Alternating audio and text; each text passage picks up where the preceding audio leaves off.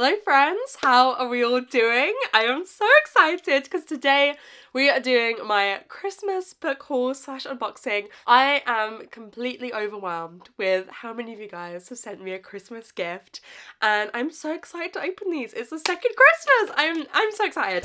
Merry Christmas! Let me show you the stack. These have been coming through throughout the month and I have just been completely overwhelmed. I'm so thankful you guys are so kind. We'll talk about the voice in a second. just hold up. When all of a sudden I hear this agitating, grating voice. This is all stuff from you guys. I am completely I just am so thankful. It's so kind of you guys to do this at Christmas, send me a gift.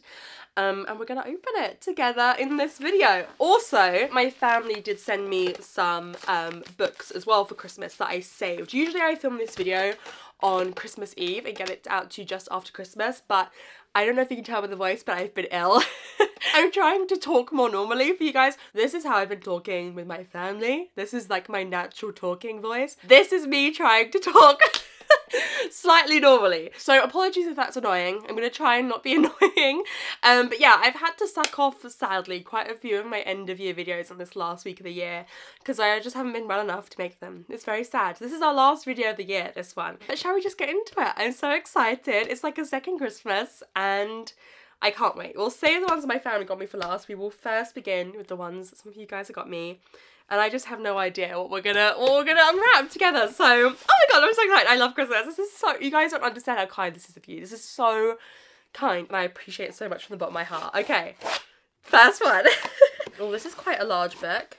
Oh, okay, interesting. Merry Christmas from the Italian Scott on Twitter. Thank you so much. Okay, this is a 2023 release I've been very interested in. This is The Things We Do to Our Friends by Heather Darwent. It's set at the University of Edinburgh. Claire meets Tabitha. Tabitha is charismatic, beautiful, intimidating, and wealthy. Claire is sucked into her circle, and Tabitha reveals a little, little project they're working on, a project they need Claire's help with. It's reckless, possibly perilous, and might finally allow Claire to become who she always meant to be.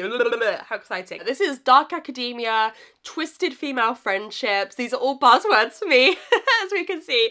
I haven't heard a ton of people review this though since it came out. This is one that I added to my list from the synopsis when I was kind of looking up 2023 releases. But I haven't heard a ton of people review it and that actually always makes me excited because I kind of like being the first not the first to read a book, obviously of people have read this already probably, but the first in like my head to read a book and go into it with completely no expectations. So thank you so much. I'm so excited to get to this one. Next package, I'm just opening these up completely randomly. There is no order to these. Oh, fun! We have got A Sprinkle of Sorcery by Michelle Harrison. This is from Emma the Quiet Patron. Thank you so much, Emma. That is so kind. So A Sprinkle of Sorcery, this is the next in the Pinch of Magic middle grade series. And this is one of the middle grade series I've spoken about a lot that I started in 2020. I started three middle grade series in 2020 and I have not made progress in any of them. And that's really a goal of mine in 2024 is to kind of make progress in those older series. Good luck. Good luck. Have fun. Hope it works this time around. And I loved A Pinch of Magic. I thought it was such a whimsical, beautiful first book in a series following these sisters. I love sister relationships. I absolutely loved it. Three sisters with a magical secret, a race against time to find a place that exists only in fairy tales, a journey that will take them into unimaginable danger. Oh, it looks like we're going to be on a boat. How exciting. I also really love the kind of like aesthetic design of this series. I love it. So thank you so much, Emma. Oh my god, you guys are so kind. Next, what have we got? Oh, what is this? No way. No way. Ah, I'm very excited for this one. So this is from Clara. Clara says, Happy Christmas, Megan. I've loved your content and patroness here. Thank you for all the effort you put in. Thank you, Clara. We have got Emily Wilde's Encyclopedia of Fairies by Hannah Fawcett. Ah! this is one of the 2023 releases that I have wanted to get into most. This is obviously one of the fantasy that people have been speaking about all year. And I would categorize this from what I know as cozy fantasy. And I'm just like, give me more cozy fantasy, please. Just give me all the cozy but sometimes I do get a little bit disappointed with books that kind of seem like they're going to be cozy fantasy and then don't turn out to be. So I'm a little bit hesitant because of that. But yeah, so many people have been loving it this year. We're following Emily Wilde, a meticulous researcher who's writing the world's first encyclopedia of fairy lore. Oh, I'm so excited. Enchanting, sharp-tongued and footnoted academia. There's footnotes? Oh, There's footnotes, guys. There's footnotes. There's footnotes! Try not to say mother challenge. Failed. I didn't know those footnotes. Oh my god. You guys know I love footnotes. Oh my god. That makes this maybe a five star prediction for me. That makes this a five star prediction for me. Thank you so much, Clara. You guys are picking such good ones so far. My goodness. Okay, next parcel.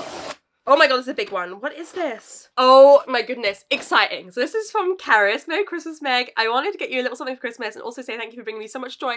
I absolutely love your channel. I'm joking. I'm a big fan of your lovely Patreon means the world. Thank you so much, Karis. Okay, you guys can't see, I'm like dying, choking.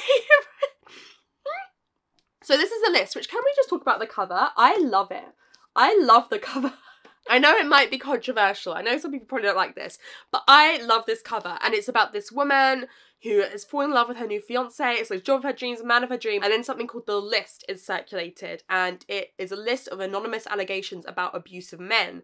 And her fiance is on the list. I've heard mixed things about this one, but it's one that I'm very intrigued to read. It seems very intriguing. So I'm very excited to pick this one up. Thank you so much. Okie dokie. Next, what have we got? Oh, this is from Rebecca, another of my patrons. Merry Christmas, Megan. I love this one and can't wait to hear your thoughts. Oh, interesting. So, Midnight is the Darkest Hour by Ashley Winstead, which I've heard really good things about and then not so good things about. Small town, Louisiana, there's this new church or new preacher. Stuff starts going wrong in the town and town secrets. Now, here's the thing. With Miss Ashley said, I gave In My Dreams I Hold Knife five stars and I did not love The Last Housewife. It was, I think I gave it a three, but it was maybe more of like a 2.5. I found The Last Housewife very disappointing. I'm a little bit nervous this one because I think it could go either way. I just feel like In My Dreams I Hold a Knife had so much promise that I believe that we could have something like that again. Ashley said when I read In My Dreams I Hold a Knife, I thought was going to become a new favourite thriller author. And then my The Last Housewife put a spanner in the works of that. So thank you so much, Rebecca. I'm very, very, very excited to pick this one up. Okay. Oh my god, we've got two. Oh my goodness. Okay. What? Wait, no, there's three in here. What is going on? Okay, I was very confused for a second there. because Amazon has put the wrong, one of the wrong notes in here. I've got like a French person gifting me the art of Frozen, like Frozen Disney, but that's not for me. This is for a child somewhere. Oh yeah, okay. That, that's just an extra note. I've just got an extra French person's note in here. So these are from Lauren. Lauren has been, Lauren, you're one of like the OGs around here in terms of subscribers and patrons, I feel like. Lauren says, Merry Christmas. Even if I sometimes get too busy join sprints and game nights, your channel makes me happy. Thank you for everything you do. Well, thank you, Lauren. That's so kind. So we've got three backs from Lauren. And let me just start with the two that Lauren has been very kind with and gotten me sequels. sequels to series I've started. So first, we have got Death Comes to Marlow by Robert Thorogood. I read The Marlow Murder Club earlier this year and really enjoyed it. Um, and this is the sequel to that. This is similar to Thursday Murder Club in that it's humorous. We're following elderly characters solving murders in this quaint English town. There's an upcoming wedding of like the man in the town and they're having this like garden party and they find him crushed to death in his study. and they're gonna go investigate it together. Then we have also got 10,000 Stitches by Olivia Atwater, which is quite short. That makes me excited. And this is a sequel to Half a Soul by Olivia Atwater. And these are Regency fairy romances. So I love Regency era. And um, so these are like cute little romances. I didn't love Half a Soul as much as I think other people did, but some people told me that the tropes in the second and third in this series would be more my thing. So I want to continue on. Oh, this one we've got a housemaid falling in love with a gentleman. I'm really excited. This These should be my kind of thing. These should be kind of five stars to me. So very excited to pick that up. And then we have got Beach Read by Emily Henry.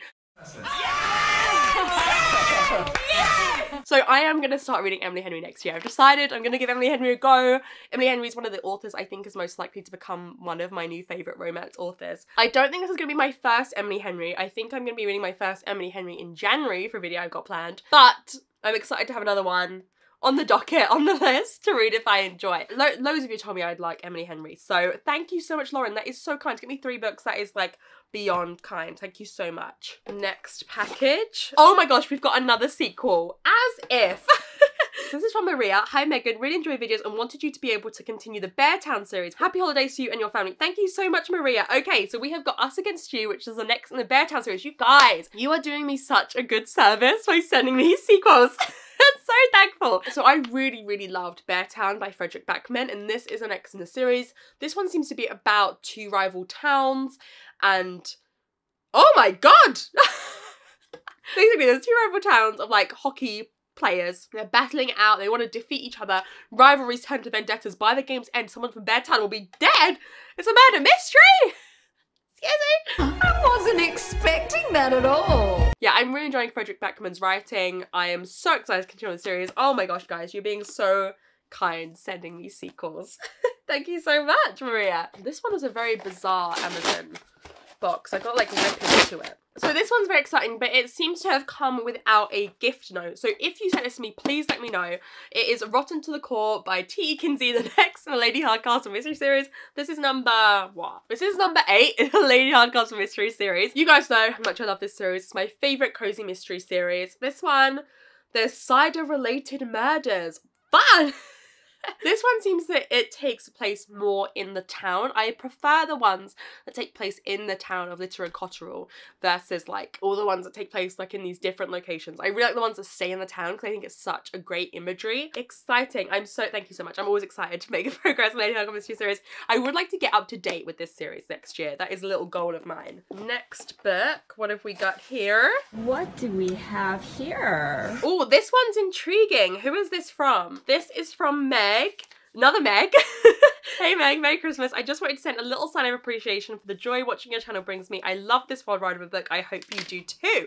This is The Book of the Most Precious Substance by Sara Gran. I'm gonna be honest, I, this is one I've heard, like, I added to my wish list because I've heard people talk about it highly, but I can't remember a lot about the plot. What does this say? Rare book dealer. Oh, I love anything that like is book about a book or book about books. Lily has just been given a tip off about the book of the most precious substance, a 17th century manual rumored to be the most powerful occult book ever written, if it really exists. With some of the wealthiest people in the world willing to pay Lily a fortune to track it down, she embarks on a journey from New York to New Orleans to Munich to Paris.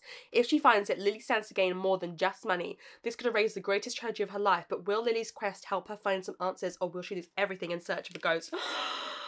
Fun! Okay, I'm very excited to read this. Let me know if you've heard anything about it, but that sounds right up my street. Right up my street. So thank you so much, Meg. You are so kind. Okie dokie, next book.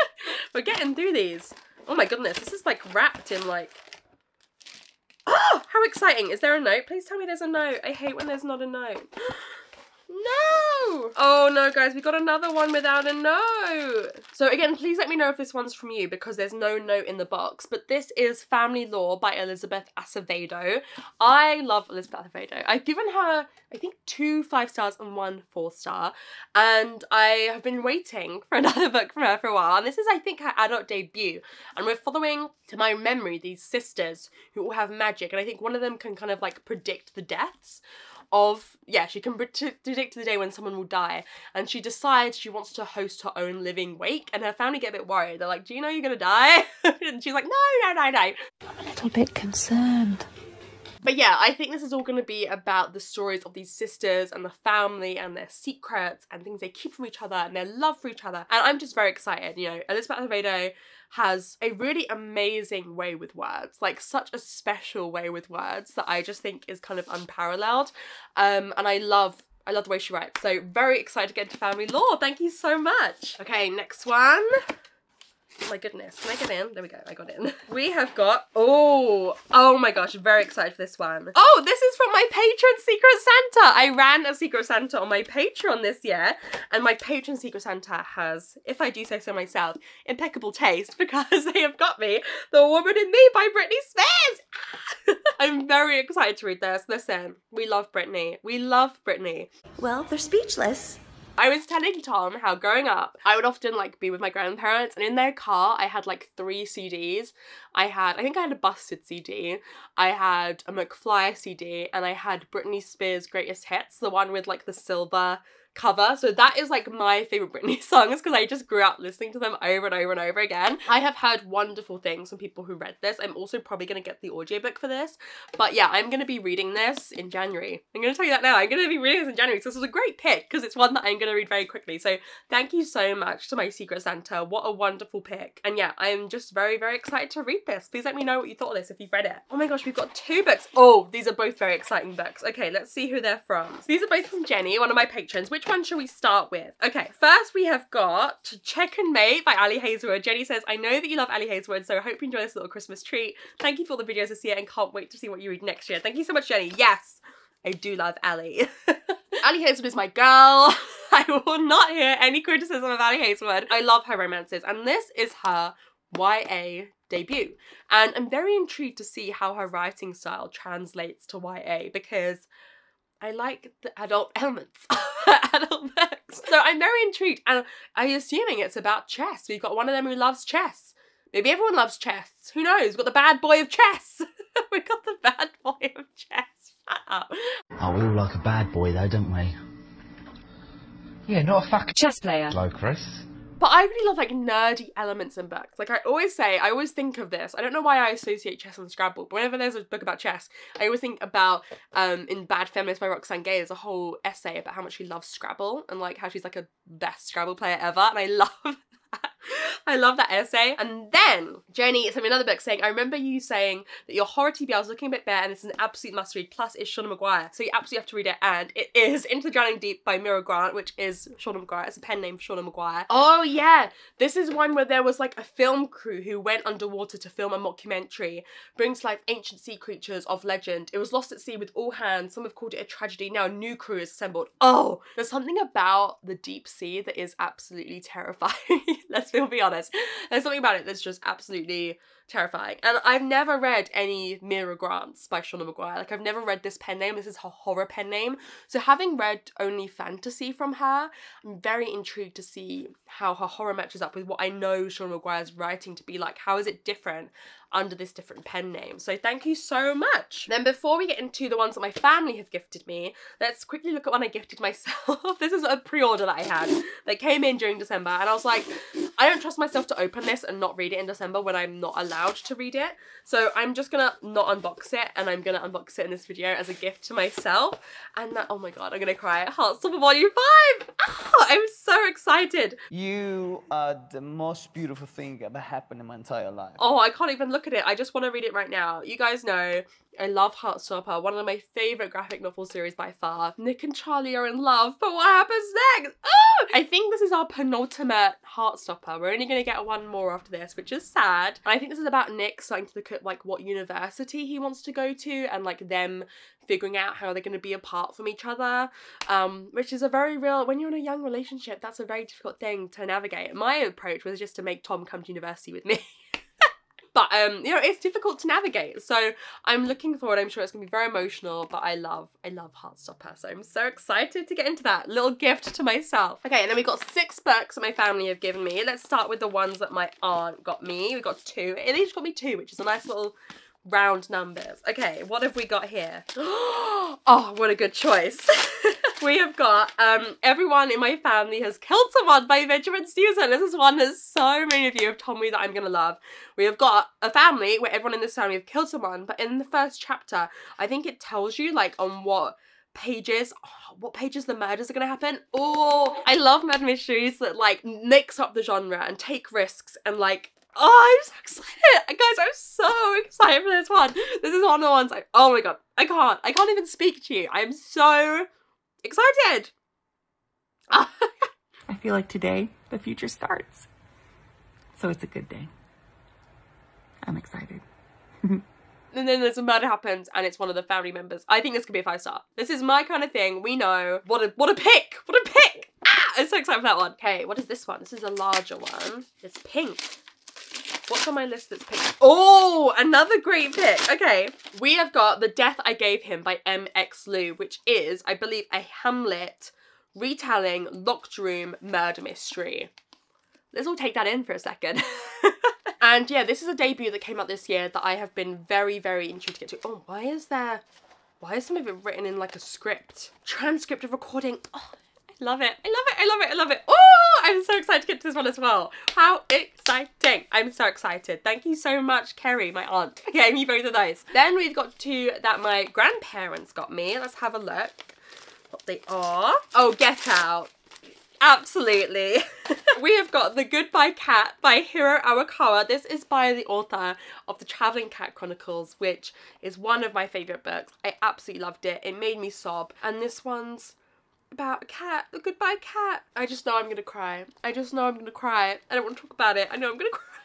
Because the first one, the Charming Cat Chronicles, made me cry so much. Oh, what a great gift. I love anything with a cat. I love anything with a cat on it. then what is that other one from them? Let's see. We have got Ellie Engle Saves Herself by Leah Johnson. This is Leah Johnson's middle grade debut. And I'm just really intrigued by it. I have read, what have I read by Leah Johnson? I'm forgetting the name of it. Rise to the Sun is the one I haven't read. What's the one I've read? It's got the purple cover. Why has that left my brain? It's got the crown. I can't remember. I'll put it here. The one I've read by Leah Johnson. So an earthquake, I think, strikes Ellie's small town and she uh, discovers that she's got this, like, ability that she never knew she had. A video of her goes viral and her life takes an unexpected turn. And listen, I'm always looking for more middle grade that I'll enjoy. And this one sounded really good. And then we've got two final books that my parents got me. What have we got first? Oh, what a great pick. We have got Mammoths at the Gate by Nghi Vo, which is the fourth in a Singing Hills cycle. I have read the first two in this series and I absolutely love them. They are a love letter to the act of storytelling and the art of storytelling and how that's passed through by generations and different cultures, their arts of storytelling. I absolutely love this series and I cannot wait to make more progress in the series. This one's quite like embarrassing that I haven't made more progress in this series. I absolutely love Nghi Vo's writing. I've got two standalones by Nghi Vo that I need to read.